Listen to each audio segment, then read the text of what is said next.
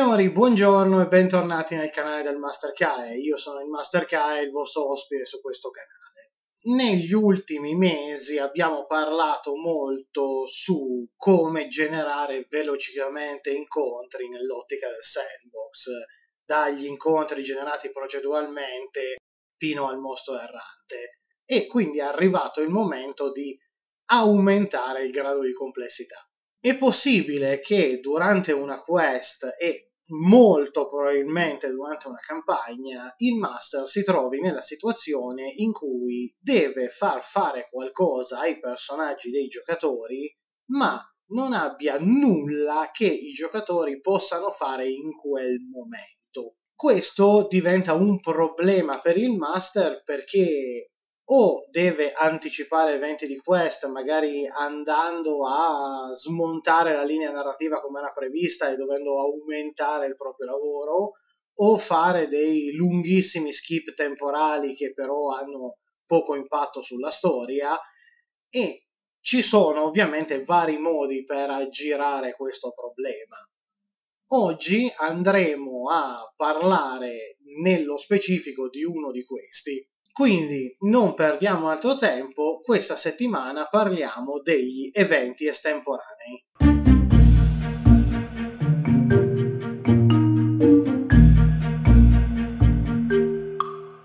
Devo ammettere che trovare una definizione perfettamente calzante di cosa sia un evento estemporaneo è stato un attimo un problema, ma seguite il ragionamento. Quando parliamo di un evento estemporaneo, parliamo di una situazione di gioco in cui i giocatori dovranno portare a termine una serie di incontri, non necessariamente di combattimenti, comunque dovranno superare una serie di eventi pre-organizzati che hanno un loro railroad interno ma che non sono direttamente integrati nella linea narrativa della campagna. Mi rendo conto che questa definizione potrebbe lasciare molti dubbi, in realtà si adatta a molte situazioni differenti di gioco. Per parlare più chiaro, pensate agli incontri estemporanei come a un mini arco di quest che il master ha già preparato ma che non abbia una sua effettiva collocazione ufficiale all'interno degli archi narrativi della campagna. Vedetela come l'equivalente narrativo del mostro errante. Abbiamo già fatto questo esempio più volte, ma mentre sono in viaggio tra un pianeta e l'altro per proseguire la loro quest, l'astronave dei giocatori attraversa un campo di asteroidi e lì viene attaccata dai pirati. Questo non necessariamente è un singolo combattimento, la nave pirata non è un mostro errante o un incontro casuale, potrebbe essere una serie di scene che hanno una loro consecuzio interna ci sarà una prima scena di scontro tra astronavi in cui l'astronave dei giocatori combatterà con quella dei pirati. Poi i pirati cercheranno di abbordare la nave dei giocatori e i giocatori dovranno difendersi dai pirati mentre si ritirano verso la, la plancia passando per i corridoi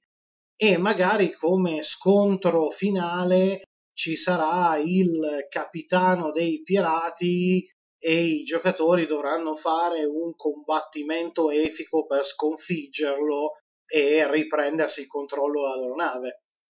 Un evento del genere non è un incontro casuale con un mostro, ha una sua logica interna, è composto da varie scene e fondamentalmente va a formare un piccolo arco narrativo autocontenuto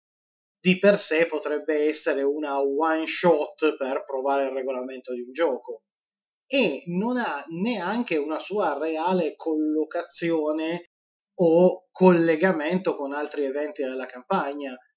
Il fatto che i pirati attacchino chi passa agli asteroidi non ha nulla a che fare con la quest principale dei giocatori, se non magari come mero dettaglio per approfondire un po' più l'ambientazione e non ha neanche una sua posizione ufficiale. Ogni volta che i giocatori passano vicino a un campo di asteroidi in qualunque zona della mappa che stiano andando, che stiano tornando, qualunque sia l'attività che stanno facendo, potrebbe verificarsi l'incontro con l'astronave dei pirati che cerca di prendere il controllo della loro. Questi sono i due aspetti fondamentali che caratterizzano un evento estemporaneo, il fatto di essere autocontenuto e il fatto di potersi verificare in qualunque momento a prescindere da quello che sta succedendo nella linea narrativa principale. Nell'esempio che abbiamo fatto, per quanto la storia possa essere breve, abbiamo comunque un arco narrativo completo con un suo primo atto, un suo secondo atto, un suo terzo atto, una serie di climax e un boss finale. Non date per scontato però che sia questa allora la lunghezza corretta per un evento estemporaneo. In realtà questo è uno dei rari casi in cui davvero le dimensioni non contano potrebbe essere qualcosa di ancora più breve, magari una singola scena, mentre i giocatori stanno esplorando la foresta, trovano una grotta abitata da un gigante. Ma potrebbe essere anche qualcosa di più complesso che si estenda quasi come una vera linea narrativa secondaria, più volte magari con PNG ricorrenti o situazioni ricorrenti in cui i giocatori vengono coinvolti quando ce n'è bisogno, mentre i giocatori nella loro quest principale indagano su un grande mistero, una quest alla Cthal of Tulu, periodicamente vengono contattati dal commissario di polizia che gli chiede una mano per indagare su alcuni delitti molto più mondani e ovviamente non date neanche per scontato che debbano essere combattimenti o comunque qualche tipo di prova che i giocatori debbano superare. Il classico, mentre i giocatori si spostano tra una città e l'altra, incontrano sul loro cammino una carovana di mercanti che arriva in senso opposto. Questi mercanti non hanno imprese da proporre loro, in realtà non hanno alcun interesse al di là del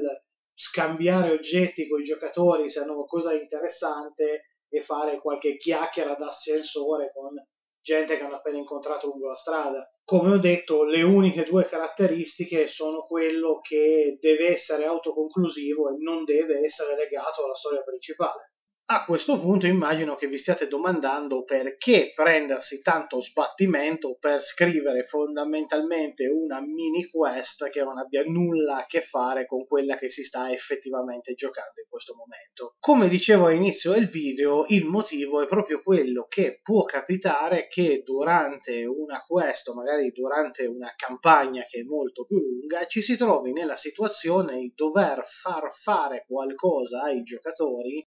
ma non si ha la possibilità di far fare loro nulla che riguardi la linea principale vera e propria. Anche in questo caso facciamo un esempio così è più facile capirsi. Diciamo che la quest che i giocatori stanno intraprendendo è quella di sconfiggere l'oscuro signore del male e che per farlo dovranno recuperare l'antica spada magica che si trova in un dungeon nel mezzo del deserto. Sì, questa è un'ulteriore iterazione di banale e bello. Più volte nel corso della quest vari PNG hanno detto ai giocatori che il motivo per cui nessuno è mai andato a recuperare la spada è che attraversare il deserto è un'impresa estremamente rischiosa, sia per le condizioni climatiche avverse, sia per i mostri che popolano la zona. Dal punto di vista della linea narrativa principale, dal punto di vista della storia che sta venendo raccontata nella quest principale, tutto quello che succederà in mezzo al deserto in realtà ha scarsissima rilevanza. Il successivo punto del Railroad è che i giocatori recuperano la spada. In realtà la traversata del deserto potrebbe essere del tutto skippata e il master potrebbe semplicemente dire ai giocatori dopo diversi giorni di cammino e innumerevoli pericoli arrivate davanti al dungeon.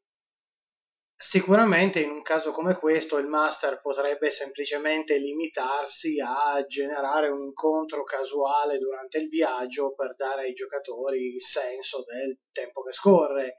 e questo sarebbe perfettamente legittimo se stessimo parlando di un viaggio breve, giocatori che si spostano da una città all'altra, ma è stato detto in queste che questa doveva essere una grande epopea in mezzo al deserto e semplicemente limitarsi ad aumentare il numero degli incontri casuali non sarebbe una buona idea.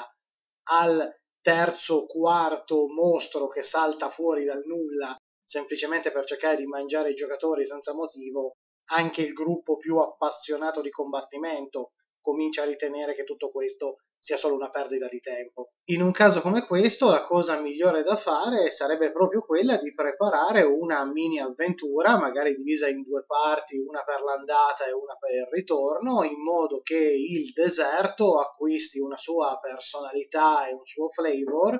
oltre al fatto mm. che così i giocatori abbiano non solo qualcosa da fare che dia loro il senso del tempo che passi, ma abbiano anche la possibilità di interagire in modo significativo con questo ambiente, sicuramente tutto questo è preferibile al dopo molte settimane di cammino siete arrivati al dungeon e dopo molte settimane di cammino siete tornati alla civiltà. Probabilmente qualcuno sta pensando che questo non debba necessariamente essere slegato alla trama. L'avventura nel deserto potrebbe in qualche modo riguardare i minion del Signore del Male, quelli per cui serve la spada, sì, potenzialmente sì, ma a questo punto all'interno proprio dell'avventura vorrebbe dire che il Signore del Male in qualche modo è a conoscenza del fatto che i giocatori passeranno da lì o comunque è a conoscenza del fatto che i giocatori hanno trovato la spada, cosa che non necessariamente, ma potrebbe non essere positiva per la trama che state raccontando. Non tutto deve fare riferimento alla trama, e a volte è meglio lasciare delle cose slegate. Ovviamente dipende tantissimo dalla situazione. Se poi si vuole scendere molto più sul pratico, un altro motivo per voler introdurre una serie di eventi estemporanei all'interno della quest è quella per cui ci sia effettivamente la necessità da parte del master di perdere tempo lungo la quest. Magari i giocatori sono andati un po' troppo oltre con i loro personaggi e adesso sono ricercati dall'autorità locale e debbono scappare o comunque eh, restare meno visibili possibili per un po' di tempo. Si capita molto più spesso di quello che credete. Oppure potrebbe essere un'esigenza vera e propria non tanto per i personaggi ma per i giocatori, per qualche motivo un buon numero di giocatori del party non potrà essere presente per diverse sessioni. Capita molto facilmente durante il periodo estivo, con quei periodi di ferie. A quel punto il master non vuole mandare avanti la trama principale con magari solo metà del gruppo di gioco, perché poi al ritorno dovrebbero spiegargli le cose, c'è la possibilità che rimangano confusi, al di là del si stanno perdendo una parte della storia che loro stesso collaborano a scrivere, ma dall'altra parte il master non vuole neanche dire a quelli che invece sono presenti eh, vabbè ci rivediamo tra un mese vuole continuare a far giocare i giocatori che ha ma senza far perdere informazioni fondamentali ai giocatori che non possono esserci. In un caso come questo, un evento estemporaneo è la cosa migliore. Il master preparerà un piccolo arco narrativo per quelle due o tre sessioni in cui il party è ridotto. I giocatori che rimangono magari avranno anche una storia, una qualcosa di più semplice, dato che sono meno a giocare, ma comunque avranno la possibilità di fare qualcosa. Potrebbe essere un momento estremamente utile per magari andare ad approfondire il retroscena specifico di quei personaggi. Magari loro ci guadagneranno anche qualcosa, ma quando poi il gruppo ritornerà al completo, nessuno avrà perso delle informazioni importanti, mal che vada gli altri giocatori si faranno raccontare le avventure legate al retroscena dei personaggi che sono rimasti. In ultimo, un evento estemporaneo potrebbe essere utilizzato per esplorare qualcosa che il master non aveva affatto previsto per la quest, ma che per un motivo o per l'altro i giocatori abbiano dimostrato interesse nel voler andare a fare. Mentre i giocatori camminano per la città, per, al mercato, il master descrive come controscena che ci sono degli schiavi che scaricano delle casse e i giocatori presi da uno spirito abolizionista decidono che vogliono liberare gli schiavi. Liberare gli schiavi non era nei piani del master e magari tematicamente non c'entra assolutamente nulla con il resto della campagna, però è qualcosa che i giocatori hanno palesemente dichiarato nel loro interesse nel voler fare e il master deve anche cercare di accontentarli. Il gioco di ruolo funziona così. A questo punto creare un piccolo arco narrativo in cui i giocatori combattono contro gli schiavisti potrebbe essere un modo estremamente facile e veloce per accontentare i desideri dei giocatori senza che il master debba portare radicali cambiamenti alla linea narrativa principale solo per introdurre questo nuovo elemento della schiavitù che non era stato previsto all'inizio. Potenzialmente potrebbe succedere anche l'esatto opposto. Il master a un certo punto si rende conto che vuole introdurre in campagna un nuovo tema o vuole alterare in maniera significativa la linea narrativa, se non in casi come un sandbox di cui stiamo parlando in questo periodo in cui il master non può sapere precedentemente cosa succederà nella sua stessa campagna, e quindi semplicemente il master ha bisogno di tempo per scrivere le parti importanti della quest, ma non volendo interrompere le sessioni mentre mette mano alla campagna, buttare ai giocatori un breve arco narrativo totalmente slegato dal resto, che però gli dia quelle due o tre settimane di tempo per mettersi a rivedere con calma le cose veramente importanti, potrebbe essere una mano dal cielo. Soprattutto per questo è importante che nel sandbox il master si prepari prima una serie di eventi estemporanei da poter buttare sui giocatori. Come consiglio personale, quasi sempre in momenti in cui i giocatori sono in viaggio da un posto all'altro, in modo da non dover improvvisare troppo quando i giocatori decidono di cambiare strada e andare a esplorare qualcosa che il master non si aspettava andassero a esplorare in quel momento o così velocemente. Il master si farà una sua pool di due o tre eventi che possono succedere in modo che quando durante la sessione i giocatori diranno ah adesso vogliamo andare laggiù il master potrà intanto far giocare ai giocatori l'evento che aveva già preparato durante lo spostamento in modo da arrivare alla fine della sessione e poi avere fino alla sessione successiva il tempo per prepararsi quello che effettivamente succederà nella nuova zona che i giocatori hanno raggiunto. Diciamo che per questo video è tutto, mi sa di aver anche sforato come al solito i tempi, ma non fa nulla, diciamo che era un argomento in cui ci tenevo particolarmente a parlarne Comunque adesso, come sempre, la parola sta a voi. Ditemi se voi avete usato gli incontri estemporanei o non li avete usati, perché li usate e perché non li usate. Come sempre, se ci sono domande, dubbi, perplessità, scrivete tutto nella sezione dei commenti qua sotto. Se il video vi è piaciuto, mettete un like e condividetelo che aiuta a crescere il canale. Iscrivetevi e schiacciate la campanella se volete ricevere le notifiche. Se le notifiche non vi arrivano, le metto io a mano nel server di Discord nel gruppo di Telegram, trovate i link di invito nella descrizione. Io sono il Master Kae, noi ci vediamo nel prossimo video.